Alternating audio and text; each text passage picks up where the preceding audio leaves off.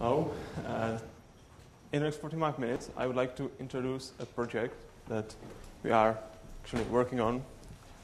It is a set of tools to help with or to simplify network test automation. Uh, we actually are testing the network stack in the kernel in Linux, and we are developing a tool that we could use to simplify it. Right, this talk will be, will be divided into three parts. First, I will explain what LNST actually is and what it can do.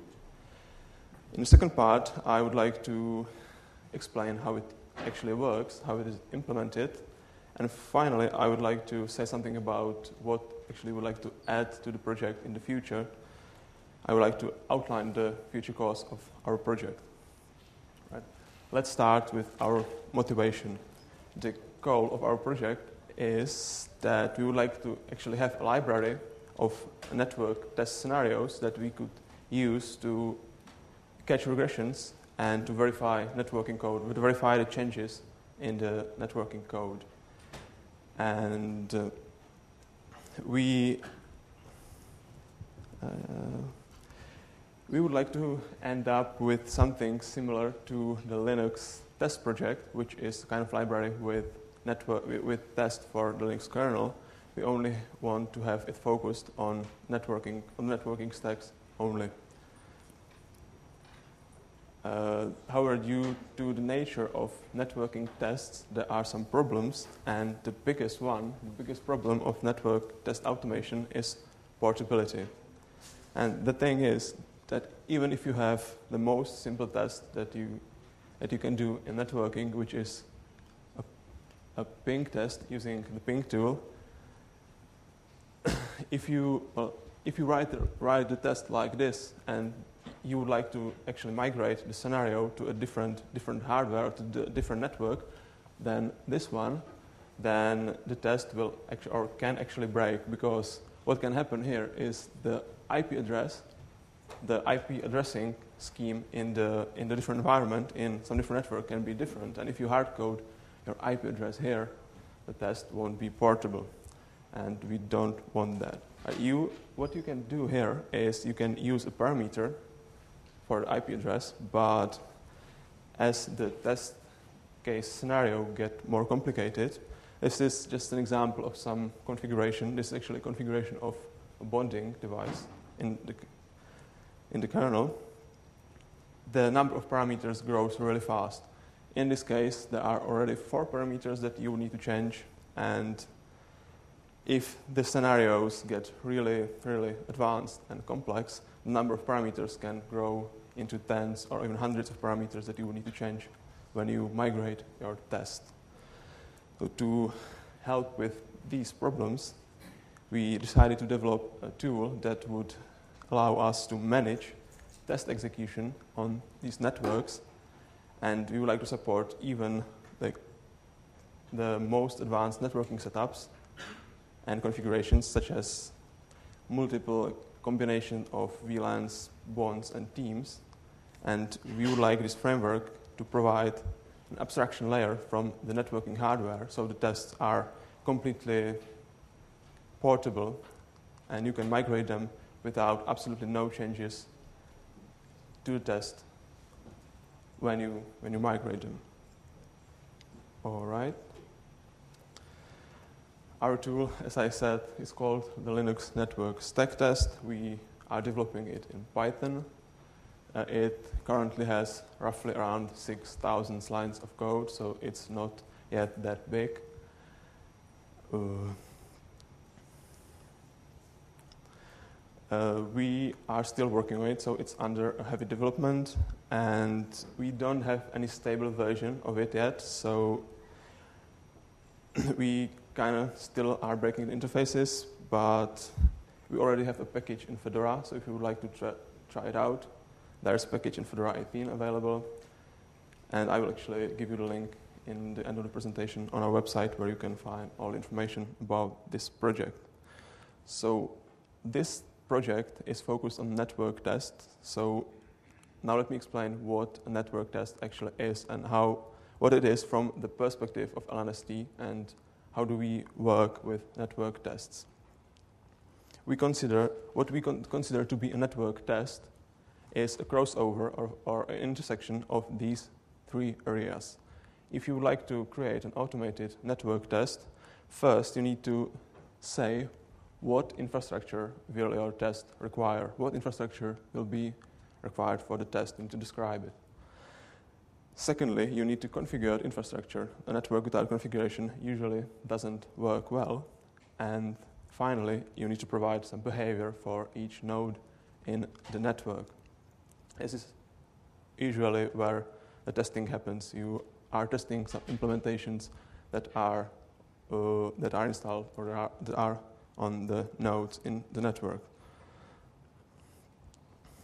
Right. So I will explain one of these individually now. What is important while describing infrastructure is that some machine, different machines has different properties. Some machines are stronger, they're usually servers. Some machines are usually used as clients. Your test, your specific test, might require some set of machines. In this case, there are two servers, right? Machine A and B may be required to be servers, while these three machines can be simple clients that will actually send some requests to these servers through this testing network.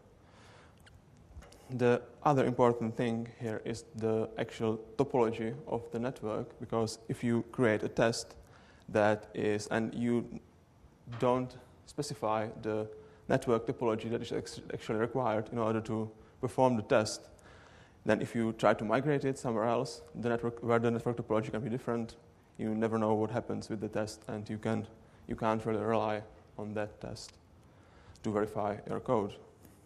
So the topology is very important, and we actually mm, cover it in our tests. We put the topology as a part of the test. If you create a test, you need to describe the topology as in it. So that's infrastructure. When you have that, you actually need to provide a configuration for the infrastructure, which is usually only assigning IP addresses to different nodes. Sometimes you might want to do something more complex, such as set up a bond device or some teams. You can set up some routing, etc. But the important thing is that you need to take this configuration with you with the test because if you want to send a packet through network, you need to have the IP address of the target target machine, right? So if you were writing a test and if you would like to send a packet from here to here, this machine needs to be aware of the IP address of this IP address. All right? So you need to refer, you need to refer to these addresses in the test. And if you hardcode them there and don't take them with you in the test, the test won't be portable at all. You will need to go to the test and change these information about the infrastructure of the network. Right. The last, the last thing is the behavior of each individual node. This is what actually specifies the scenario, the test scenario that will be performed, that, be, that will be performed over the network. In this case, there are some server, some services running on this machine. There's some email server, some imaginary email server. Uh, here is some file server, and these these client machines try to send some some requests to these servers, right? These this machine actually tries to upload and download a file from the B machine, and it uses it uses its IP address. and the important thing for the behavior is that if you want to automate these things, you need to look at synchronization between different, different nodes. For instance, if you would start the upload, right, if you would try to upload a file even before you have started the file server, the upload wouldn't obviously work. So you need to manage synchronizations. This is sort of a weird example, but there are cases in which where the time frames are not that big, and if these things are not synchronized properly, the test will again break. so the three things were you need to specify the infrastructure, you need to provide some configuration for infrastructure, and then you need to provide the scenario that will be that will be happening in the network. In LNST, we have a single file, a single entity, a single description that actually incorporates all these three things into one. So if you write a test with LNST, you create this XML file. We call it LNST recipe. And it is split into three basic sections, which are designed to take information about these three things. All right, and so this was something about network tests, and now let me explain how we actually work with these recipe files, how we actually execute tests that are specified within these files. LNST uses two or works with two types of machines. The first one, the primary, the primary machine that is actually very important for LNST is the controller. LNST controller is the place where you actually put your recipe. Controller will read it and it will execute the test. And the test will be executed using the, uh, a network or a lab of LNST slaves. And slaves are just dedicated test machines that are connected to the controller and they execute commands as they receive them from the controller. All right, so what you need to do, what you need to do at the controller is you need to put there the recipe file and you need to also provide some information about the slaves that the controller has available for testing. Right, so you can set up some test network that you plan to use for your, for your test cases, and you need to say something about these computers to the controller so it can make decisions what test it will perform where. All right the controller machine. All right, so this is maybe a little bit illustrated here, how it actually works. This is, in our case, this is the test network that I showed you earlier, some sort of test network. With LNST, we call this a slave pool, which is a set of machines that some controller can use for performing tests here is the test network, and what is important is that the controller must be connected to each to each slave through a different network, through an isolated network that we call a controller network. This is very important because if we use the existing infrastructure, the existing test network, and it would break, it would it can go down during the tests, and we would actually lose access to the to the computers, to the slave machines, and you would need to intervene manually, go there and fix fix the connection to the machines. Right. So every machine in the slave pool has to have a single interface that is not part of the test and that is dedicated to the connection to connecting the machine through to the controller. The controller will also send commands through these interfaces to the machines. It will, for instance, say, all right, now you need to run a DHCP server, and or now you, now you uh, need to send some and some packet, etc.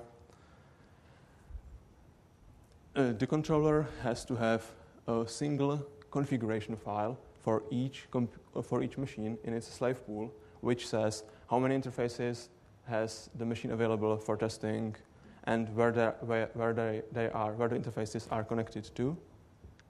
It says what is the IP address of the controller interface so it can access the machine through the controller network.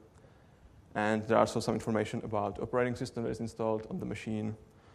There are some information about hardware of the machine, maybe the drivers that uh, the drivers that the machine used to do for its network cards, etc. And the controller actually works with the recipe. The, the, this is only well, the only place where you the controller is the only place where you need to put your recipe along with your test, along with your scripts, maybe some third-party programs you have compiled in order, and you want to use them for the test. And the controller will actually take everything it will distribute it across, across its machine pool. It will send, send your files to, to, the, to its slaves, and it will use them to perform the test. Now let me explain uh, test execution a little more. It all starts with a recipe file that, is, that describes one or more tests, and it, which goes to the controller. The controller will read the, the, will read the recipe file and it will identify the machines that are required in order to perform this test that is described by the recipe file. It will then search through its machine pool through its slave pool and it will select, right, these are the configuration files, the machine pool, and it will select a suitable subset of the machines of network that are, that are suitable to perform the test. It will allocate the machines, it will configure them with the configuration that is again, oh, which is again specified in the, in the recipe file, it will perform the test, and then it will clean everything up and put the machines back into the pool so they can be reused.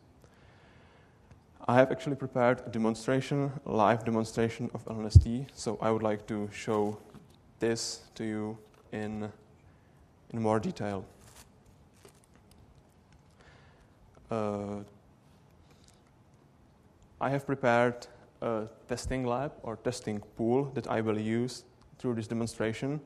I have it virtualized within my laptop. Uh, I prepared three machines. Here I prepared a RHEL 6 that has two interfaces connected to, to a, a Linux bridge.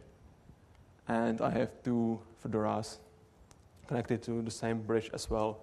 I will use this infrastructure to perform some tests on it. I use my laptop as the controller machine, and uh, the laptop is connected through a different, through a different bridge to each of the machines so it can control it. The controller also has three files, three configuration files for each one for each machine in its slave pool, and it has the recipe file that will be that will be executed. And that uh, specifies the details of the test. And what is written in the recipe in my recipe file that I have here, I will do this simple ping test using using LNST. In the recipe file, what is defined, what is written in the recipe file is that this test will require the, an infrastructure like this. There has to be one machine with two interfaces connected to the same network segment, to the same switch, and there has to be another one machine, another machine with one interface connected to the same network. And I will try to ping from this machine to here. All right. So let's go to the demonstration. This is where I, where I keep my, my configuration files for this particular pool. There are three of them, and if I open one, as you can see, it is again an XML file, and there are some informations about the slave machine that I have prepared uh, here about the virtual machine. Yes, please. Mm-hmm.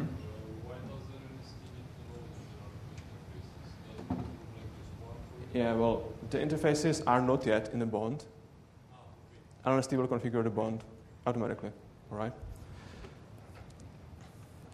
So the this configuration files, what it says is that the controller can reach the slave machine through this IP address. This is the IP address that is assigned that is assigned to the to the controller interface within the controller network, which was the dash line, if you remember. And here is the configuration of the two interfaces. All right, there are MAC addresses to so the controller is able to distinguish between the interfaces, within the two interfaces. And this, this parameter, this parameter is here to indicate that the interfaces are connected to the same, to the same network segment. There are some alias that, we, that I have assigned to, to the network segment, to which is, yes, please?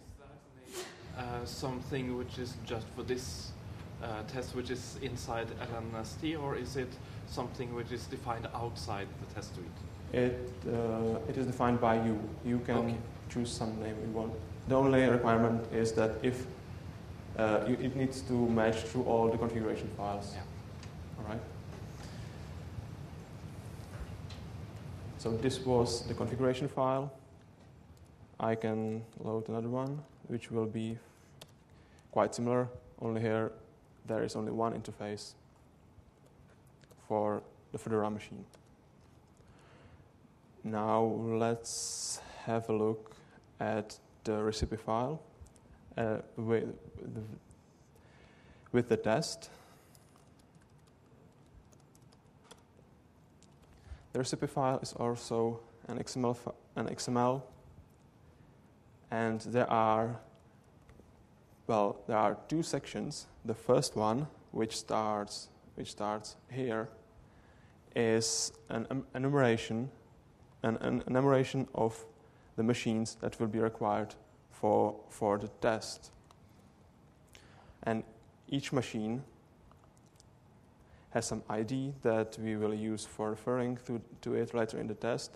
And e- the, there are some requirements for each machine. This is some request for an infrastructure. What it says here is that we will require a machine that doesn't need to be anything special. The only thing we want is to have two, two devices, two network, two in network interfaces, and that these two interfaces need to be connected to the same to the same network segment. These IDs are in no way related to the IDs that are that we use in the pool LNST will actually use some sort of matching algorithm and it will match these descriptions or these requirements to the infrastructure you have defined locally on your controller. So you can take this and use it on a different controller with completely different testing environment and it will work work as good as on your own controller. The second thing that is defined in, in a machine is the configuration for its interfaces. In this case, and this is the first machine that was on, on the left on the slide, uh, which, has, which had two interfaces, connect, two interfaces connected to the same, same network, and they, in this case, they are configured as a bond. We have created, or we have some way of creating a third interface that actually will enslave the previous ones and it will configure it will configure the new a new interface which will be a bond from these the previous two interfaces and we assign an IP address to that interface. Yeah, you can add some more options here. You can add an option tag here, and we support some more uh, more options for bonds. But I what I put here is some just some sim- simple example. Yeah. There, there will be some default options. Right, so this is a description of this is actually a description of the infrastructure requirements for the first machine and its and then configuration for this machine when it will be allocated. And the same thing happens here for the second machine basically. There are requirements. There is a requirement for a single device on the machine and the device is again configured in this case, the configuration is very, very simple. The only thing we do is assign an IP address to the interface. So this was the first section, which covers infrastructure, network infrastructure, and its configuration. The, the node, node behavior is specified within our command sequence.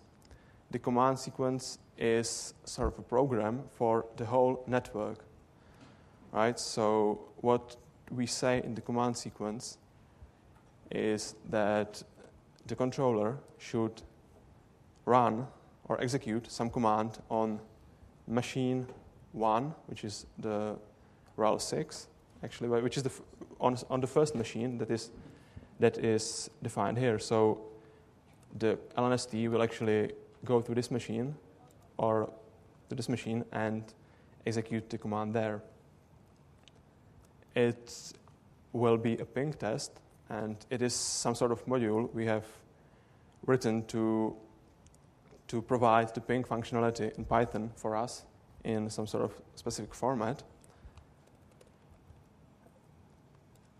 Uh, there are some options to the test. In this case, we will send 10, 10 ping packets or 10 ICMP packets with within, with this interval, and we have defined a limit right for the successfulness of the test. So if the ratio will be lower than, than 95%, the test will fail. We also say what machine should be, should be the target of the ping request. Right, in this case, we use a XML template. We have we actually support in LNST. And if you look at this more closely, this is actually a function IP which will retrieve the IP address of the second of the first interface on the second machine in this test from this test recipe. So this will be actually resolved during the processing phase of the recipe during the parsing of the recipe to this, this value, right, to this IP address. Yes, please. Uh, where, where is defined uh, how often will it be checked? How often? Who, who is scheduled these checks? If uh, five minutes intervals, each five minutes, or each ten minutes? Uh, I'm not really sure I understand your question. How often will be running this ping test? Uh, and who is defining this at uh, which time? Yeah, well, this is this will be executed only once. Only once. Yeah, only once. Yeah, please. Uh, can you can you retrieve the information about more than just one addresses per interface? Yes, there is actually one optional parameter to this IP IP template. And if you have multiple addresses assigned to an interface, you can put like the default is this, and you can put to in here to retrieve another address. Or is it was that what you asked for? All right, thank you. So this is the test I have prepared for this demonstration, and now let's see what happens when I execute it or when I run it. what I will do, I will actually run this command, which says, which is the controller implementation, and I say that I want to run this recipe. What I have done in the background, I have three machines virtualized there, and on each machine there is a daemon. It is by default a daemon, but I have actually set up it by hand here. E- each machine is has running this LNST slave, which is the slave implementation that will actually listen for the connections from the controller and respond to them.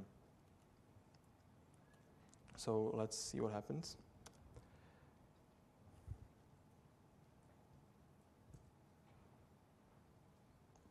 All right, it worked.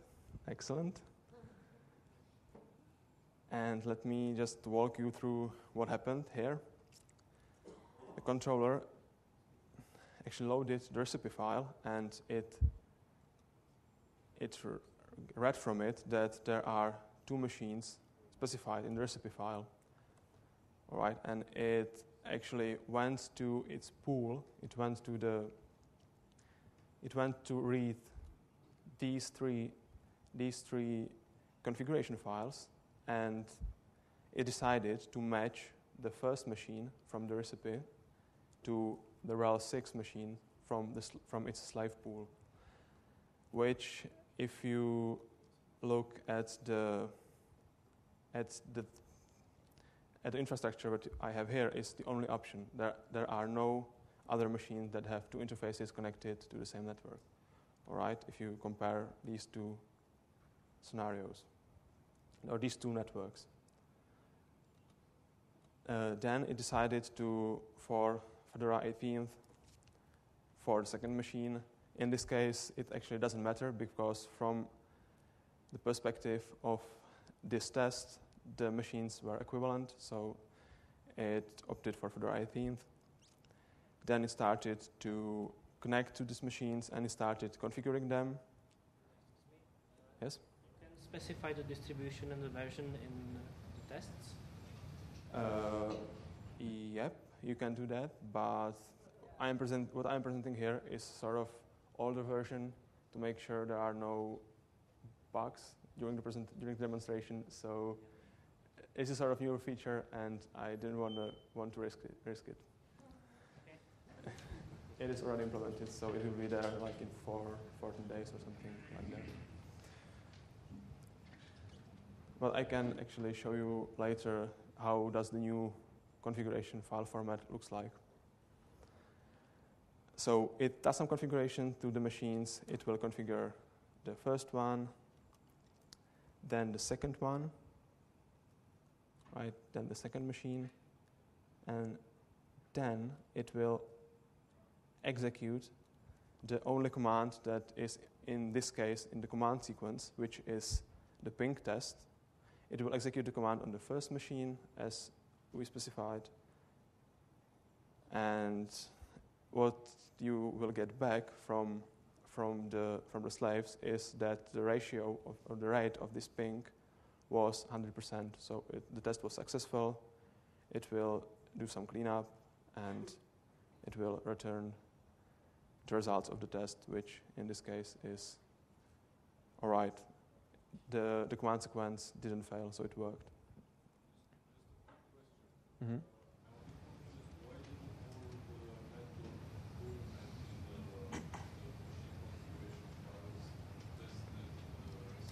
Yeah.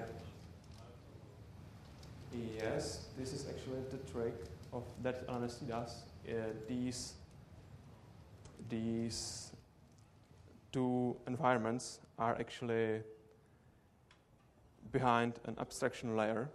And the thing is that LNST controller will actually match these using some backtracking algorithm. It will match the requirements on the pool. So the names you choose in, in the pool or in the test can be completely different. And LNST will take care of this. It will match them. You don't need to worry about it, right? So this is uh, one more slide, only to summarize what happened during the demonstration here.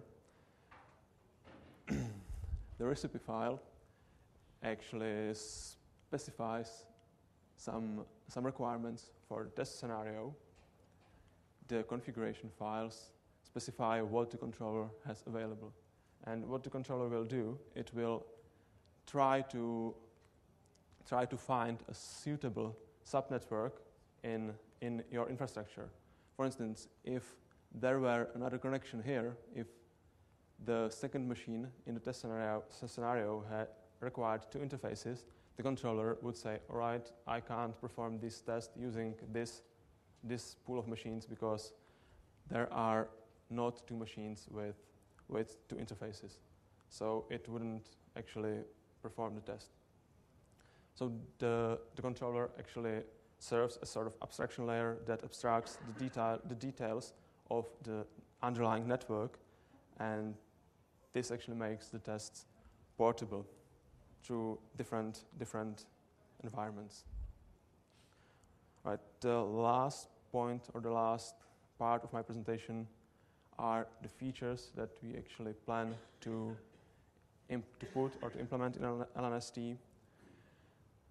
Uh, if you work, LNST actually supports both physical and virtual machines. And if you work in a physical environment, you cannot do anything about infrastructure. You have some wires, some machines, and LNST can't actually unplug wires from Python. So it's just given. But if you work with virtual machines, you can actually do this by cooperating with libvirt. You can create bridges, you can attach interfaces to the virtual machines, and this libvirt can, libvirt can actually do this during run, runtime of the machine. So you can actually, LNST could be actually able to rewire the whole network if you have it virtualized based on the requirements from the recipe, right? So we, this is a big, big item on our to-do list. We plan to work on it as soon as we can. The other thing that we would like to add is some drivers for different for controlling different routers and switches. We would actually like to be able to to contact a switch or configure a switch through uh, through, for instance, SSH or S- SNMP protocol, and this could be very useful for simulating some failover scenarios. If you can control a switch, you can take down some interface to create to create some or to simulate some bug within a network. You can restart it. You can do whatever bad things you want to simulate some difficult network conditions. And the last thing that we have on our to-do list is a graphical user interface. We would actually like to, we well don't like editing XMLs that much by hand. And what we would like to do is to implement a, a graphical user interface for interactive editing of these recipe files. Uh, this, you can imagine this as a sort of a packet tracer from Cisco where you lay out different, different nodes. Uh, you can connect them with some cables, and this tool would, in the end, generate, generate the the recipe file for you. So you wouldn't need to worry about XML. Right. If you are interested in the project, if you have some comments or ideas, you can always contact us on our mailing list. You can get us on this IRC channel or Freenode. And we, actually, we also have a website where is a lot of documentation already. It is on Fedora hosted, and there are lots, lots of how-tos, lots of um, help. So, and you can also get the packages from there or the code. Right, this is it. This is everything from me. Thank you for coming. Thank you for listening. And if you have any questions, I will be happy to answer them. yes, please. Those tests you run are those uh, separate modules in LNST, or is it some kind of generic interface towards real binaries. Uh, all right. Yes, we have actually multiple multiple options for writing these tests. You can create your own module to LNST. Right there's some interface from Python, some class you just uh, inherit from, And LNST also supports executing commands from shell. So you can create a shell script. You can upload, LNST will actually upload it to the slave for you automatically. And it will execute it, execute a shell. So there are various, various options for this. Right? Any more questions?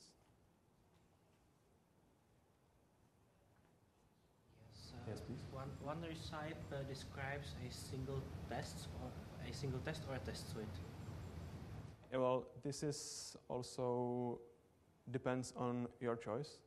You can, well, the recipe file actually supports uh, multiple command sequences, so you can put multiple sequences uh, into a single recipe. The thing is that you, you actually should put, well, uh, you can do it uh, as you want, but the thing that we try to stick to is one test case, one test case scenario per command sequence. So if you would like to execute multiple command sequence, multiple test cases over a single network, you can put multiple command sequences into a single recipe and execute them at once. The cleanup action is done the, then for each command sequence or just once? Some, some cleanup is done after each command sequence, but the IP addresses will, that are configured on top of the recipe in the configuration phase will stay there. So there is some cleanup done after the command sequences, but ultimate, the big cleanup is done after the last command sequence. Thank you. Right, thank you. Any more questions? Right, if not, thank you again very much.